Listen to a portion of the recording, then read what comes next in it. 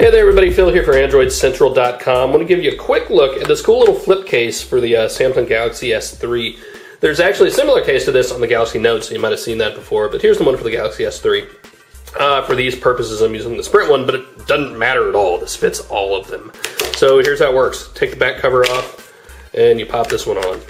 You'll notice you lose the uh, carrier branding and you're back to a Samsung logo. So if that's your sort of thing and you really hate the carrier branding, that's an option. Pop it on just like a normal case and flip it over and voila! Your screen is covered. Now, I'm normally not a case guy. I'm really trying to get myself to use this though, because I have a bad habit of collecting just weird scratches very randomly.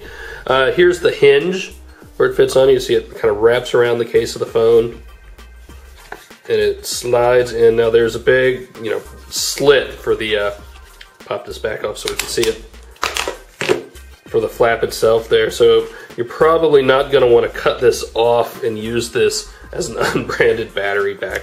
I'm willing to bet there's an easier way to do that.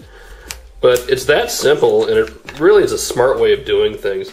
You see, you still have a hole here for the earpiece, so you can put it up to your your head and, and still talk without getting just oil and grease and nastiness on the phone. I really hate that, by the way. I hate it when I talk on the phone and, and pull it away, and it just looks awful. Uh, it's nice and thin. It really adds no bulk to the. I mean, it adds what, like a millimeter or two, maybe.